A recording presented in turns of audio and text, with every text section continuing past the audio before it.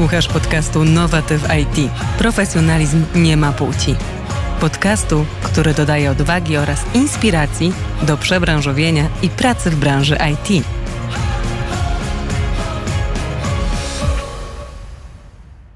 Nowatyw IT, kolejny podcast, to są podcasty o nowych technologiach, ale też o kobietach w biznesie. No i kto może lepiej opowiedzieć o kobietach w biznesie niż Olga Kozierowska, założycielka i prezeska sukcesu pisanego szminką. Dzień dobry.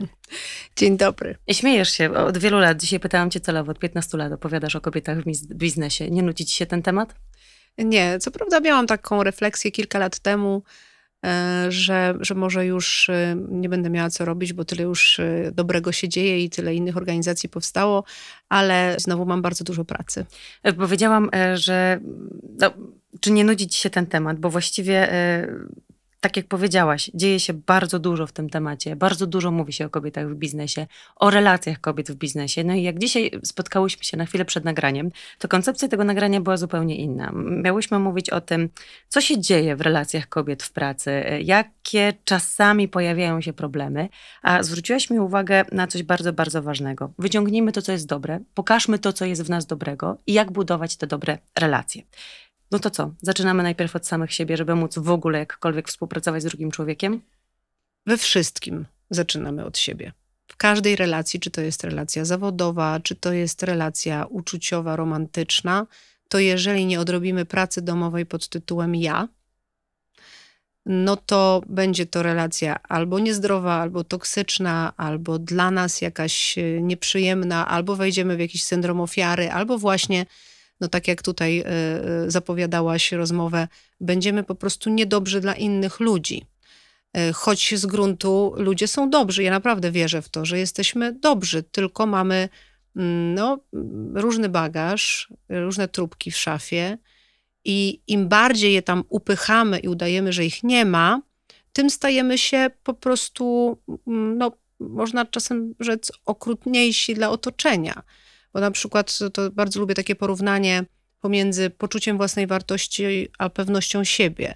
I teraz my często odbieramy osoby, które są bardzo ekspansywne, wręcz czasem agresywne, przerywające, takie, które muszą mieć zawsze ostatnie zdanie y, do powiedzenia, ostatnie słowo, y, które non-stop udowadniają swoją rację, które jeżeli nie mają argumentów, to od razu atakują. Takie uważamy za pewne siebie. A to wcale nie są osoby pewne siebie, to są naprawdę wydmuszki pewności siebie. Aroganckie. Bo to są osoby, które tak naprawdę w środku mają ogromny lęk, i takiego małego człowieczka, który mówi, zaraz się zorientują, że nic nie wiesz, chociaż to nie, nie musi być prawda, tylko to jest ta ocena siebie. Czyli te osoby tak bardzo boją się nie wiedzieć, tak bardzo boją się nie, nie powiedzieć ostatniego słowa, tak bardzo boją się nie mieć racji, że muszą o te racje i o to swoje miejsce walczyć. A osoba, która buduje mm, jakby to, tę pewność siebie na poczuciu własnej wartości, jest po prostu spokojna i nie musi mieć ostatniego zdania. W ogóle nie musi czasem mówić. Może tylko posłuchać. No to ja pokornie słucham, ale będę też zadawać pytania. No to jak budować pewność siebie? Niektórzy muszą iść e, i zacząć od psychologa, mm, bo, bo czasem trzeba przerobić takie rzeczy, które są bardzo trudne e, i trudne są no, do przerobienia samemu, bo, bo nie posiadamy po prostu tej wiedzy.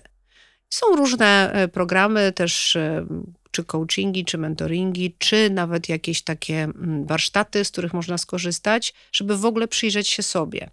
Niektórzy nie muszą oczywiście iść na y, psychoterapię, mogą przeczytać parę dobrych książek i zacząć nad sobą po prostu pracować. Ja w ogóle uważam, że jeżeli chcemy sobie pomóc, to praca własna jest must have no nie da rady. Nie da rady na przykład chodzić do psychologa, bo można chodzić 10 lat i nic się nie zmienia, będzie jeszcze gorzej na przykład. No tak, ale chyba warto udać się do specjalisty, żeby on wskazał nam drogę, którą mamy iść, bo e, jak usiądziemy sami ze sobą, zastanowimy się, no to okej, okay, nie wiem od czego zacząć, no, gdzie powinnam zajrzeć, jest, żeby coś tak, ruszyć. Tak, jest wiele kursów. No na pewno e, taka, wiesz, taka wiwisekcja e, pomaga. Mm, jeżeli, no myślę, że czasem można prosto zdiagnozować, że jeżeli ja cały czas porównuję się do innych ludzi, i w swojej głowie wypadam zawsze gorzej, albo zawsze zwracam uwagę na to coś u kogoś, czego ja nie mam, zamiast, mm, nie wiem, cieszyć się tym, co mam. Na przykład, nie wiem, e, zawsze miałam kompleks, nieładnych nóg, więc patrzę na wszystkie dziewczyny, które mają ładne nogi i szlak mnie trafia, zamiast docenić, że mam na przykład ładny biust albo oczy. No. W, w tym sensie, że my mam wrażenie, w dużej mierze żyjemy w takim poczuciu braku i ten brak odżywiamy. Tego nie ma, to źle, to do dupy, jakie życie, a jaka praca. I zawsze mi się wtedy przypomina taki dowcip, jak to jechał facet autobusem, E, i mówił, Boże, jaką mam do dupy pracę, do dupy związek, beznadziejną żonę, w ogóle y, życie jest fatalne, a za nim stał anioł i zapisywał i mówił, jakie dziwne te życzenia. Prawda?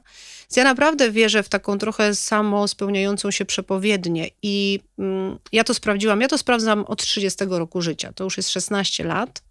I działa. E, I ja... Więc to nie jest to, że ja już tylko gdzieś przeczytałam i wam jakieś opowiadam tutaj bzdury uduchowione, ale ja to po prostu przeżyłam. Zmieniłam moje życie no diametralnie. Jestem szczęśliwa, zadowolona z siebie. To nie oznacza, że nie mam trudnych momentów, bo mam, ale wiem też znowu świadomie, że te trudne momenty to po prostu część życia i że dzisiaj jest trudno, a jutro może już nie będzie. Tak jak trochę Scarlett, czyli mogę się albo podłączać do tych emocji, tego trudno. Trochę ja takie robię porównanie, wiesz co, z awatara, bo to może ktoś, fajnie się komuś zobrazuje, że pamiętacie tak, na koń, oni się podłączali końcem warkocza mhm. do tego drzewa i się łączyli w całość i wtedy było tak cudownie. Łapali energię. Tak. Więc my możemy sobie wyobrazić to w taki sposób, że albo podłączamy się pod te negatywne rzeczy, a to głowa je produkuje, a następnie powstają z tego emocje. Bo to my się nakręcamy w głowie, że jeszcze gorzej, a jeszcze to się wydarzy, nie wiem, nie, nie dziękujmy, bo zapeszymy i tak dalej, i tak dalej. E, I możemy się w to podłączyć i wtedy idziemy w to już po prostu szeroko. Albo możemy powiedzieć, dobra, stop, bo znowu mamy głowę, i ta głowa, jak już ją wykorzystujemy do myślenia, to wykorzystajmy ją dobrze. Po prostu stop i podłącz się do swojego awatara, do, do, tego, do tego drzewa, które ci zrobi dobrze. Ja mam taką też metodę, mm, jak gdzieś mnie myśli zabierają, w, które mi nie służą. Bo my wiemy, które myśli nam służą, które nam nie służą. To ja najpierw badam, gdzie jest mój tyłek. Prostu. To znaczy w jaki sposób? Gdzie, no, gdzie, gdzie masz tyłek? Sprawdzam. No nie, jest. ale uważność, przekieruj do tyłka. Albo jak ktoś nie lubi tyłka, to może sobie przekierować na swoje stopy i poruszać paluchami u stóp. Dlatego, że tu i teraz budujemy swoją przyszłość. Tylko na tu i teraz masz wpływ. A jak my ciągle jesteśmy w przeszłości, ciągle wypominamy, co się stało, ciągle winimy naszych rodziców, że nam nie poszło. Ale wiesz, przepraszam, ciebie facetów, że nam Ale nie poszło. psychoterapia bardzo często od tego się zaczyna, że no. grzebie się w dzieciństwie, grzebie się w przeszłości. Ja nie jestem Wiele rzeczy się usprawiedliwia z... swoim dzieciństwem. Tak, ale ja nie jestem tego zwolennikiem, bo jak już się grzebie w przeszłości, to może się grzebie po to, żeby to uwolnić. Ale jeżeli się tylko grzebie w przeszłości, to znam wiele takich osób, które zrywają kontakt z rodzicami bo obwiniają ich za swoje nieszczęście tu i teraz. Wszystko usprawiedliwiają swoim no, dzieciństwem. Ale wiesz, to jest zrzucanie odpowiedzialności i winy na kogoś. Było, było. Nie zmienisz przeszłości. Było. I to, na co masz wpływ, to jest tu i teraz. I możesz zrywać kontakt z mamą, z tatą, bo i winić ich, no to jest twój wybór. No i, do, i Tylko, myślę, że buduje że... się kolejne historie na jakimś nienawiści, na jakiejś nienawiści. No tak, znowu podłączasz się do bagna. I twoje ciało też to czuje, bo wszystkie emocje mamy odłożone w ciele, wszystkie traumy mamy odłożone w ciele, więc możemy się podłączać do nich ponownie i przeżywać ponownie i upadać coraz niżej i coraz niżej, albo możemy wrócić tu i teraz, tam gdzie ten tyłek, tam gdzie te stopy i wziąć odpowiedzialność za swoje życie. No bo ja wiem, że to jest łatwo winić kogoś, to jest tak jak siedzieć na ławce rezerwowych. Jak inni grają mecz pod tytułem Twoje życie. No i siedzisz na tej ławce i mówisz, ty, ty Lewandowski, gdzie ty nie strzeliłeś gola i przegraliśmy przez niego, prawda? Moje życie przegraliśmy przez Lewandowskiego. No to możesz. Czyli, nie wiem, przegrywam moje życie, bo mama mi nie mówiła, że mnie kocha, albo tata mnie nie doceniał, albo, nie wiem, był w ogóle zły, bił, bo mamy różne przeżycia, prawda? Mamy też traumatyczne przeżycia. Więc albo mogę w to iść, albo mogę wstać z ławki rezerwowej, i zacząć grać. I ważne jest to, że można wstać z tej ławki rezerwowej i zacząć grać absolutnie w każdym momencie swojego życia. Ty jesteś też taką kobietą, która może powiedzieć, że nieustannie się przebranżawia. Najpierw pracowałaś w wielkiej korporacji, przebranżowiłaś się, założyłaś swoją fundację, sukces pisany szminką. Dzisiaj no, nagrywasz płyty, muzykę, grasz koncerty, łączysz swoje życie zawodowe z tym życiem artystycznym. to były twoje myśli, które pojawiały się w twojej głowie? Chcę śpiewać, chcę być szczęśliwa? E, to jest odkopane marzenie, y, które mm, miałam chyba od zawsze, jak, jak się urodziłam, to muzyka była mną. I ja po prostu byłam z tym i żyłam z tym, a potem, e, jak to teraz jest właśnie modne, miałyśmy zresztą o tym mówić, tak zwany self-concept, czyli wszystkie przekonania, które mamy na swój temat, które de facto wpływają na to, jak wygląda nasze życie i jakich wyborów dokonujemy w życiu taka koncepcja siebie, tak? Mm, jak się widzę i na co sobie pozwalam. No to ja y, gdzieś jako dziecko ciągle słyszałam, że z takim mocnym głosem to ja tylko do opery się nadaję i mówiły to, y, nie wiem, ze dwie osoby, które w jakiś sposób stanowiły dla mnie autorytet.